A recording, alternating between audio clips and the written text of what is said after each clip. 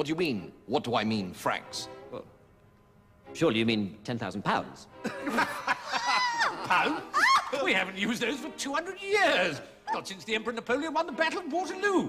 Which reminds me, it's time for us to get to the television. Monsieur le Président will be broadcasting from Versailles any moment. Are you coming? Uh, no, I might just go on one final little trip. Oh, no, don't go. You haven't had a bite of the delicious garlic pudding. Yeah.